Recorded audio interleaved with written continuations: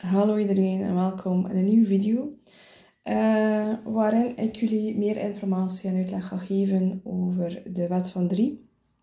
Waar ik in de vorige video, uh, waar ik het had over het uh, gratis, dat gratis nooit gratis is, omwille van die wet, um, ga ik het um, proberen op zo'n danige manier uit te leggen dat je het toch beter snapt uh, wat dat gaande is en op welke manier dat het zo verbonden is met uh, manifestatie. Uh, ik heb het een en ander opgeschreven omdat door het feit dat dit, ehm, deze informatie um, nog niet voor iedereen toegankelijk is, in die zin dat heel veel mensen daardoor getriggerd werden, er ook heel veel vragen en mails binnengekomen zijn naar aanleiding van die video, waar ik op voorhand wist dat dat zo zou zijn. Dat is wat. Um, daarom probeer ik uh, in deze video het op een niet te moeilijke en dus heel duidelijke manier uh, uit te leggen.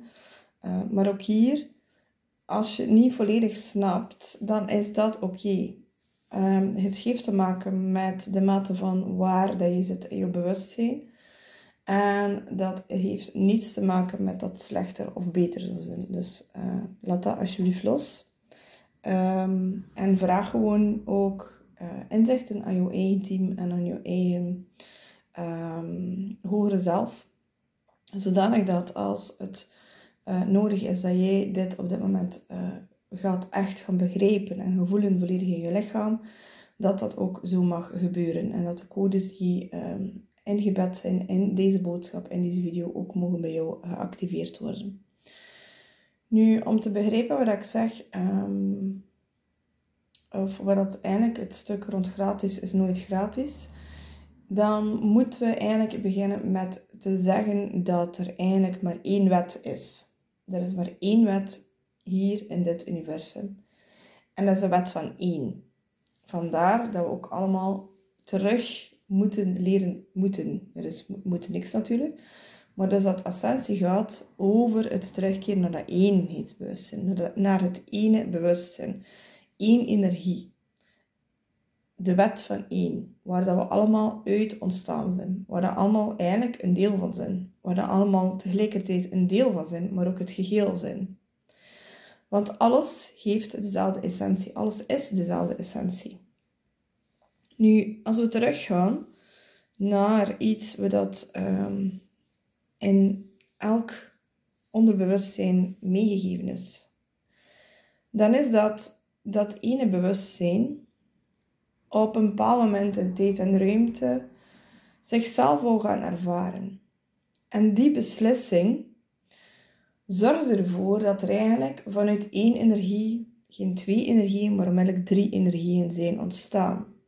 Vandaar dat we dan ook op dat moment kunnen spreken van de wet van drie. Terwijl dat eigenlijk de wet van drie, de wet van resonantie, de wet van manifestatie, uh, de wet van aantrekking bedoel ik, de wet van polariteit, de wet van uh, al die andere universele wetten, zijn één fractie, één frequentie, één onderdeel van de wet van één. Dus wanneer je de wet van één snapt en gebruikt, dan ga je ook al die andere wetten gaan snappen en gaan begrijpen. Want het zijn onderdelen van die wet van één. Nu, het moment dat, dat het ene bewustzijn, uh, laten we het voor de gemakkelijke van het spreken hier nu de bron noemen, of het universum noemen, dan um, splitste het ene, de bron, zich eigenlijk onmiddellijk in twee delen. Waarom? Omdat de mannelijke energie zich afgesplitst heeft van, van het geheel. Dat is de positieve polariteit. Uh, omdat hij naar buiten wou. Wou uh, de mannelijke energie wou zichzelf gaan ervaren en wou naar buiten gaan. Op dat moment is er onmiddellijk twee andere energieën ontstaan. Niet alleen de vrouwelijke energie, die de dualiteit ervan weerspiegelt, de negatieve pool, en die dus veel meer weer naar binnen gericht is. Dus veel meer weer eigenlijk de mannelijke energie wil uh, naar zich toetrekken om die eenheid weer te gaan ervaren, om die weer die ene, dat ene bewustzijn te worden. Maar op dat moment, als ik spreek over de mannelijke en de vrouwelijke energie, is er, zijn er maar twee polen. Of lijkt het alsof het er maar twee polen zijn. Terwijl het er eigenlijk drie energieën zijn. Want op dat moment is er tegelijkertijd een derde energie gecreëerd wat de neutrale pool is, en die de balans houdt tussen de positieve en de negatieve pool. Tussen de mannelijke energie en de vrouwelijke energie. En die derde energie, dat uh, heeft zich gemanifesteerd of belichaamd of wat dan ook in de uh, connectie, in de relatie tussen die beide energieën, tussen de plus en de min. En dat maakt dat bij het manifesteren, dat er altijd drie elementen nodig zijn. Die drie elementen, positieve, negatieve en neutrale, die de balans houdt. Het, um, dat is ook hetgeen wanneer je de, de Tree of Life en de Kabbalah gaat gaan bestuderen, dat je gaat zien, want vanuit, ik, uh, um, vanuit eigenlijk de bron, ik ga het zo zeggen, ik ga niet de namen van de Kabbalah nu gebruiken om het niet moeilijker te maken, maar dus vanuit de bron gaan er twee energieën gaan ontstaan. En uiteindelijk ga je dan doorheen de verschillende, um, de neerdaling van de, het ene bewustzijn tot helemaal in Malkut, helemaal onderaan in de aarde, in de, het fysieke, de 3D, ga je constant die mannelijke en die vrouwelijke energie, die dualiteiten weerspiegeld zien. Want van zodra dat er weer een nieuwe energie gecreëerd wordt, moet er weer een tegenbeweging ontstaan. Dus je kan niet geven zonder dat er een andere energie is om te ontvangen. En je kan ook het ene niet loskoppelen van het andere, want plus en min hebben elkaar altijd nodig. Want in het eh, elkaar nodig vinden, daar zit het beginpunt. Daar zit die balans in. Daar zit het ik ben in. Dus die drie dingen zijn nodig om wat hij dan ook gaat willen manifesteren, om om, als die er drie er niet zijn, die, dus die drie, daarom is drie ook uh, een van de cijfers van het, um, het universum, uh, het, uh, de bouwstenen van het universum, zoals ik ook uitleg in de cursus Manifesteren met Elementen. Ook daar ga ik daarin nog dieper op in. Maar dus drie is één van de cijfers, 3, 7, 12 en zo verder. Maar de drie dingen die nodig zijn om dat dan ook te manifesteren, is dus enerzijds de mannelijke energie. En dat is de beweging, de energie waarbij wat er iets van binnen naar buiten gaat. De mannelijke energie breidt uit, maar die gaat ook niet te ver, want hij heeft die tegenbalans van die vrouwelijke energie. De mannelijke energie komt binnen via het hoofdchakra. Via die manier, op die manier ontvangen wij de mannelijke energie, de positieve polariteit eigenlijk van het ene bewustzijn. Um, dan heb je de negatieve pool, wat we kennen als de vrouwelijke energie. En die trekt alle energie naar de grond om het vast te houden, dus om het te ankeren. Dat is de ontvangende energie. En vanuit de ontvangende energie gaat die ook er weer iets gaan mee gaan produceren. Denk maar gewoon aan het fysieke uh, voorbeeld waarin dat bij bevruchting, dus na seksueel contact, ontvangt de vrouwelijke energie, in dit, in dit geval het letterlijke vrouwelijke lichaam, ontvangt het zaad van de mannelijke energie, brengt het naar binnen, brengt het in de baarmoeder en gaat daar een nieuwe derde energie mee gaan creëren, wat dat nieuw leven brengt. Nu, waar dat de mannelijke energie niet ver gaat, gaat de vrouwelijke energie niet diep. En is dat, uh, als je weet dat de mannelijke energie hoofdchakra is, dan is de vrouwelijke energie eerder het basischakra. Maar dan zitten we ook natuurlijk met die neutrale energie. De neutrale energie houdt beide energieën vast. Ze beïnvloedt ze niet. Dus vanuit de neutrale energie gaat niet de, mannelijke energie wegduwen of de vrouwelijke energie aantrekken. Nee, dat zijn de twee polariteiten die dat uh, invloed op elkaar hebben. De, de neutrale pool is eigenlijk het, het slotje ertussen. Het middelpunt dat die brug vormt tussen die mannelijke en die vrouwelijke energie en tegelijkertijd een balans creëert tussen die twee krachten die neutraliteit helpt beide energieën herinneren dat ze elkaar ook nodig hebben. En dat maakt dat ze dan ook samenkomen in het hart, waar dat je opnieuw je ik ben hebt. Waar dat we ook spreken van het hartgedragen bewustzijn, het eenheidsbewustzijn, het diamantenbewustzijn. Want het ene, die ene energie, het ene bewustzijn waar we mee begonnen zijn, dat is het diamantenbewustzijn. Dus door hier te incarneren op aarde, zijn we een fysieke belichaming, een fysieke manifestatie geworden van het ene bewustzijn. En elk voor ons zijn we een onderdeel, maar tegelijkertijd ook weer een volledige weerspiegeling, omdat we die beide polen en die neutraliteit in onszelf hebben. Alleen, dat zijn we vergeten. En dat ga ik verder uitleggen.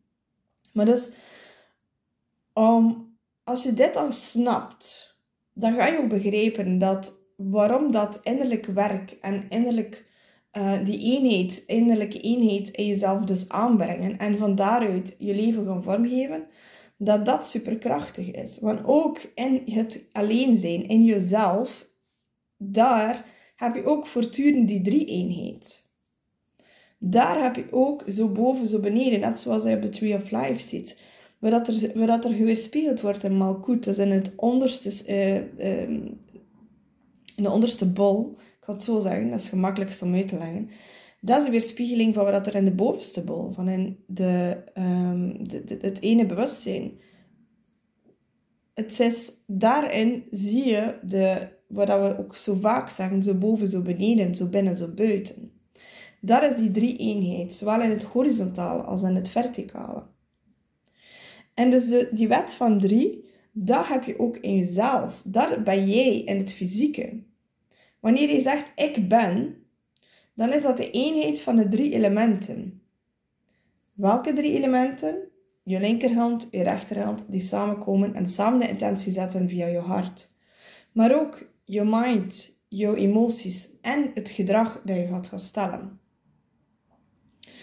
Dus wanneer je moeite hebt om te manifesteren, dan is dat omdat die drie eenheid die eenheid die ik ben in jezelf eigenlijk niet een eenheid is. Dat er geen coherentie, dat er geen consistentie is in je mind en in je gedachten. Wanneer je nu gewoon kijkt naar het woord manifesteren, money zijn handen en festo, dat is eigenlijk um, uh, een feest, een party, een samenkomen. Um, dus wanneer dat je dan je twee handen samenbrengt in het centrum van je hart, waar dat we die I am hebben, die ik ben hebben, dat is het moment waarop je gaat gaan manifesteren. Links, je linkerhand, is de, um, de negatieve pool. Laten we het anders doen. De rechterhand is de positieve pool, dat is de mannelijke energie. En die zegt, ik moet dat doen. Dus het is naar buiten gestuurd. Uw linkerkant is de negatieve pool, de vrouwelijke energie. En die zegt, ik heb dit nodig om te doen, om te ontvangen. Dus ik heb nodig, ik ontvang. Het hart is jouw intentie. Vandaar wanneer je bijvoorbeeld ook met de universele vlammen werkt, die ook een opsplitsing zijn van het diamantenbewustzijn, dus van het eenheidsbewustzijn. En je dat vanuit je intentie, dus vanuit je hart neerzet, en je hebt die eenheid in jezelf tussen je mannelijke en je vrouwelijke energie, dat je op een hele moeiteloze en snelle manier kan gaan manifesteren. Dus wanneer je alles al samenbrengt, dan is eigenlijk wanneer dat die, die, uh, die manifestatie begint wanneer dat die uh, kristallisatie van je manifestatie, van je energie kan gaan, zich gaan tonen in het uh, fysieke. Dus wanneer je, dat je dan de wet van drie toepast op jezelf en het ziet in de verticale dingen, dus zo boven, zo beneden, dan betekent dat dat er moet een afstemming zijn of een balans zijn tussen enerzijds de spirit en anderzijds de grounding, dus de grond hier, het, dus tussen je ziel en je fysieke incarnatie nu. Dus dat betekent dat wat je denkt, wat je voelt en wat je doet, dat die moeten in één lijn liggen. Dat is wanneer ik het ook al in vorige video's gezegd heb, dat je moet, wanneer je wens wilt gaan uh, vervullen, dat je moet ontgacht zijn. Dus emoties moeten volledig neutraal zijn. Je moet volledig in, in, in die flow gaan, in die overgave gaan en vertrouwen in dat proces dat ook zo gaat zijn.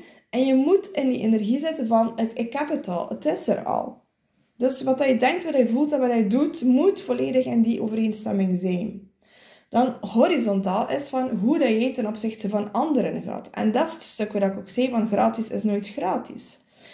Want het gaat erover van wat je ontvangt, wat je geeft en ook weer opnieuw de derde element, wat is jouw intentie?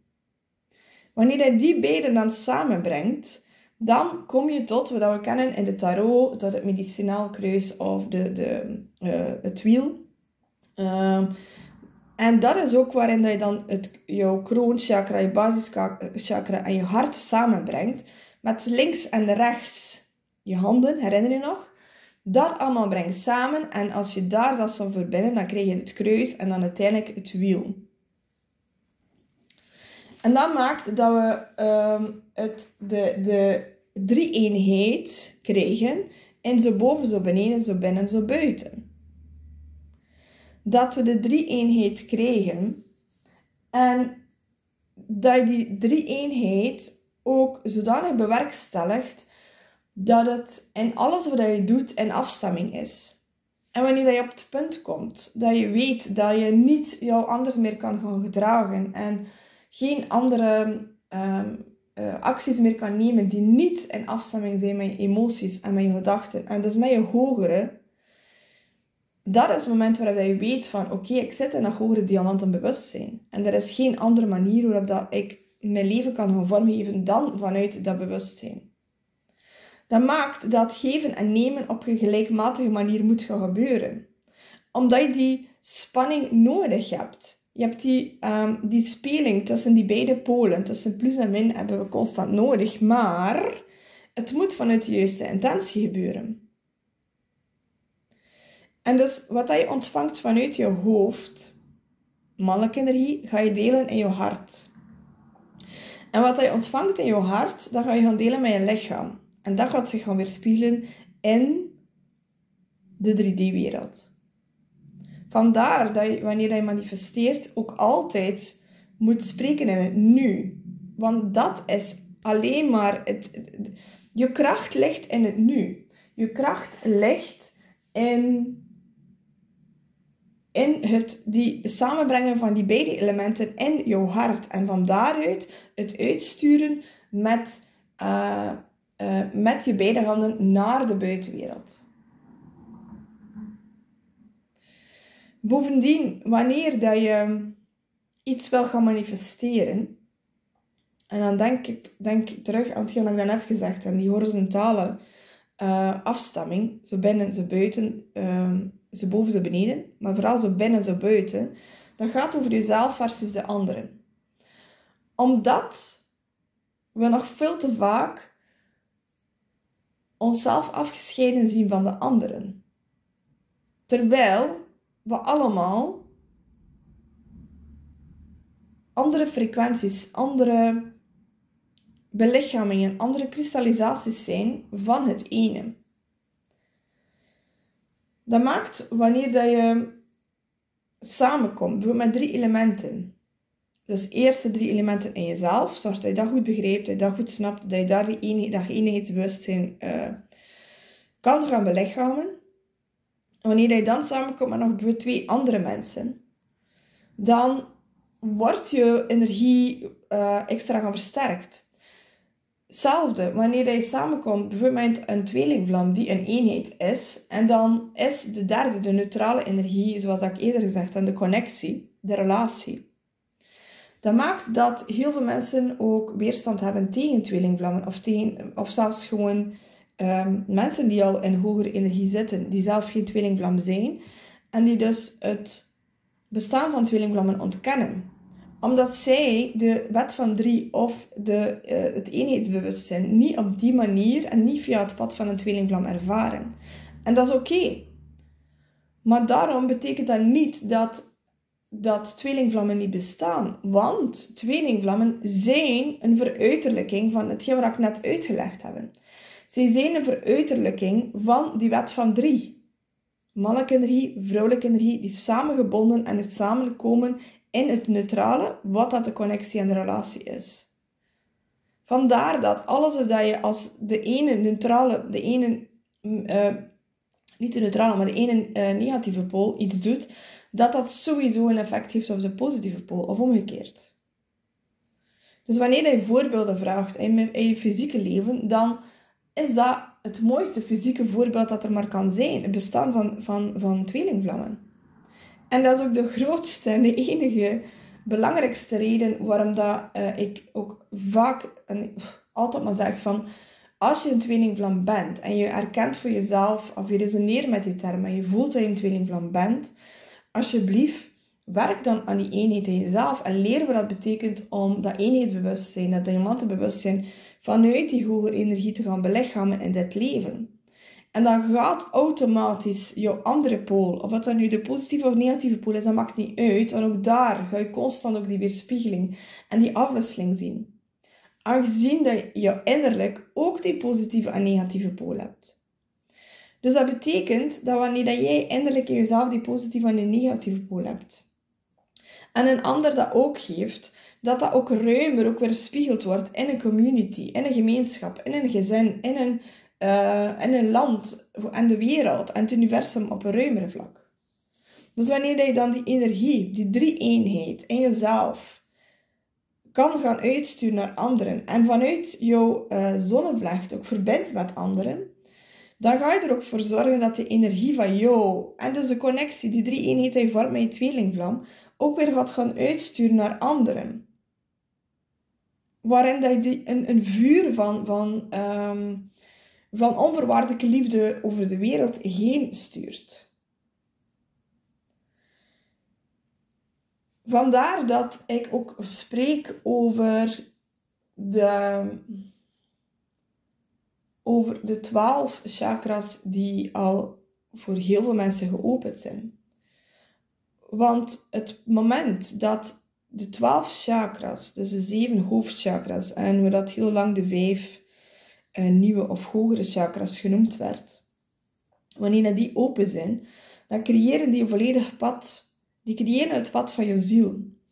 En die, dat zijn ook de verbindingen met de twaalf universele vlammen. Maar ook met de twaalf bouwstenen van het universum.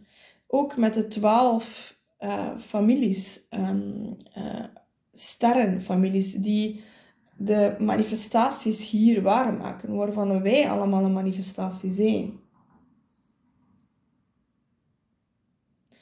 Vandaar wanneer ze spreken over de 144.000, dan zijn dat niet exact 144.000 mensen of 144.000 koppels. Nee, het heeft te maken met de vermenigvuldiging. Als je weet van 12 gaan naar 36, gaan naar 72, gaan naar 144, wanneer je verbonden bent met die 144 elementen die hier geïncarneerd zijn, en dus ook in jezelf aanwezig zijn en in jezelf weerspiegeld worden, dan ben je eigenlijk op dat moment met jezelf aan het spreken in verschillende dimensies, verschillende versies, verschillende frequenties. En als jij jezelf dan in een centrum zet, als een kern, want dat is wat je nu bent, waar je nu een deel van jou geïncarneerd is, als de identiteit en de ego-versie die je nu voor jezelf kent. En je verbindt met al die andere energieën en hun kracht ook gaan gebruiken, dan maak je niet alleen deel uit van die 144, maar dan maak je ook een deel uit van het ene bewustzijn. En dat is het moment waarin dat jouw krachten gewoon uh, vermenigvuldigd worden. Dat is het moment ook waarin dat je instant manifestaties uh, gaat zien dat die mogelijk zijn. Het nadeel is, wanneer je niet in dat eenheidsbewustzijn zit en je gaat op die manier proberen te manifesteren, dat je ook heel veel ehm, negatieve dingen kan gaan manifesteren. Want manifestatie, de wet van één, heeft alle dualiteiten in zich. Dus het heeft ziekte in zich, maar het heeft ook gezondheid in zich. En vandaar dat het belangrijk is dat je mind zo zuiver is. Dat die valkuilen van je mind en die angsten, dat je die allemaal uitgezuiverd hebt. Dat je daar bewust van bent. Want anders gaat dat hetgeen zijn dat je gaat gaan manifesteren. Want alles is een onderdeel van dat ene.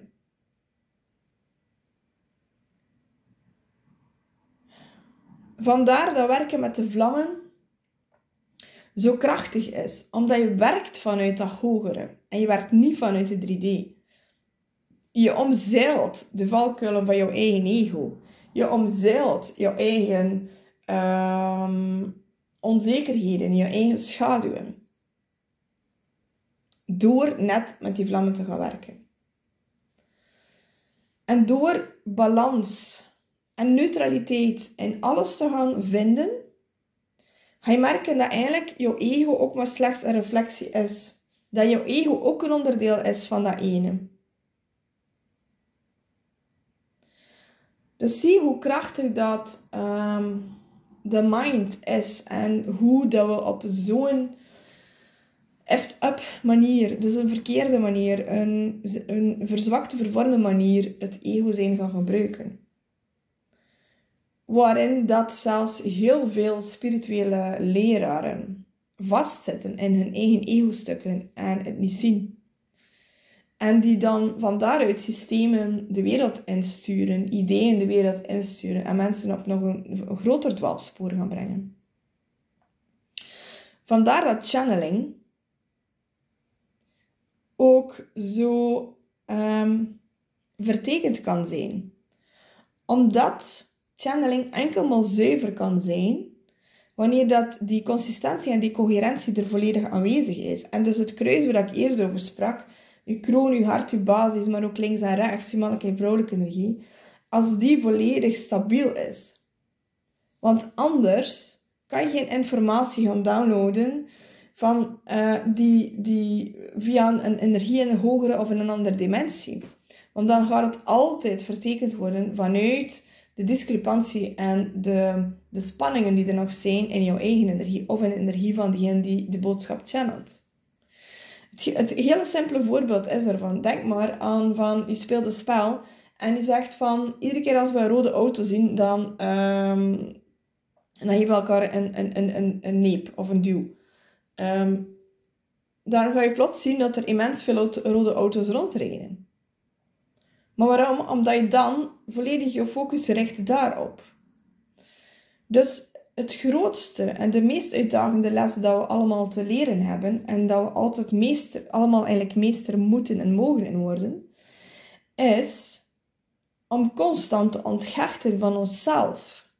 Om constant te onthechten van de emoties dat door ons heen stromen. Om constant te onthechten van het stuk van uh, die mind. Want dat is maar pas het, het begin om uiteindelijk te kunnen komen tot een volledige neutraliteit in jouw denken, in jouw voelen en in jouw doen. Intussen wat je ontvangt en wat je geeft. Zodanig dat je, wanneer je dingen dan gaat gaan manifesteren, dat dat vanuit een zuivere intentie is. En wanneer je dan op dat moment volledig zuiver dingen kan geven en ontvangen. En dat is het probleem wanneer dat, waardoor dat ik zei van gratis is nooit gratis. Omdat de meeste mensen nog niet op niveau zitten wat ik nu uitgelegd heb. Als jij volledig iets kan geven en er is niets van verwachting.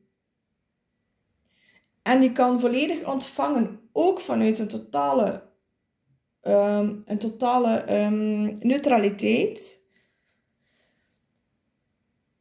dan zou het lijken alsof dat er eigenlijk niets plaatsgevonden heeft. Maar dat is net het probleem. Omdat wanneer iemand iets gratis ontvangt, hetgeen dat zij daaraan koppelen, de waarde dat zij daaraan koppelen, de hoeveelheid energie dat daarachter zit, gaat nooit en kan nooit evenwaardig en gelijk zijn als de dingen die je ontvangt. Dus vandaar dat dergelijke systemen uh, rond ik geef gratis iets in ruil voor dat op dit moment eigenlijk nog niet volledig uh, mogelijk zijn. En de vraag is maar of dat, dat ooit wel mogelijk zal zijn voor ons in deze fysieke incarnatie. Want het bewustzijn van heel veel mensen, van een heel klein percentage van de bevolking, zit nog maar, of zit nog niet op het, het stuk van um, dat volledige eenheidsbewustzijn.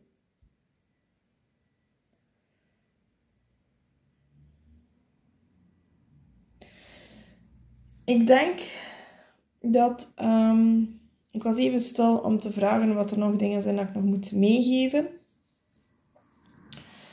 Ik ben er 100% zeker van dat dit een video is dat je wellicht nog een paar keer opnieuw zal mogen uh, beluisteren. Uh, want dit is niet zo'n eenvoudige materie om te begrijpen, zeker niet vanuit de mind.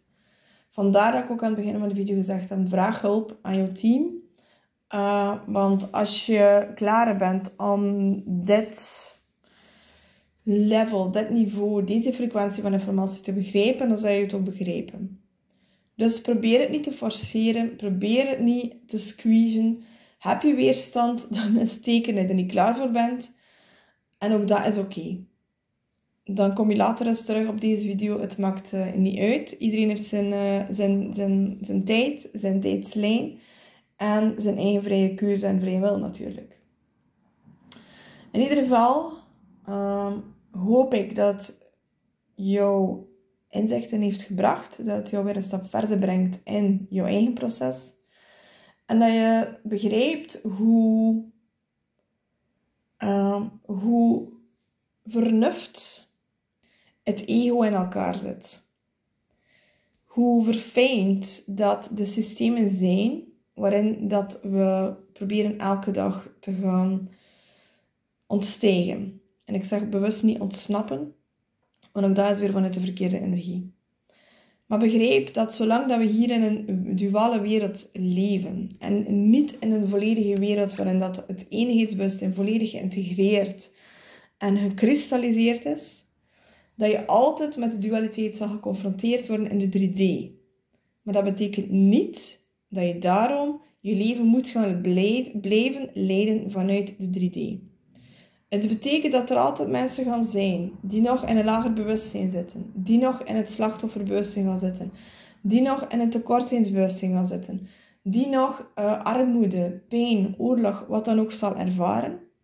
Maar het is jouw keuze om te beslissen of dat je in die groep behoort of in de andere polariteit van wat dat ook maar is waar je nu tegenaan loopt. Dus ervaar je nu ziekte, dan is jouw keuze om bij de gezonde polariteit te gaan staan.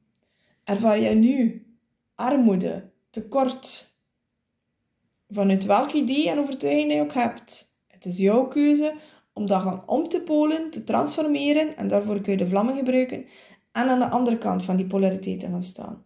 En dat is de keuze die je elke dag mag gaan maken. Waar wil ik staan? Aan welke kant van deze energie wil ik gaan staan? Wil ik in de koude kant, wil ik in de warme kant?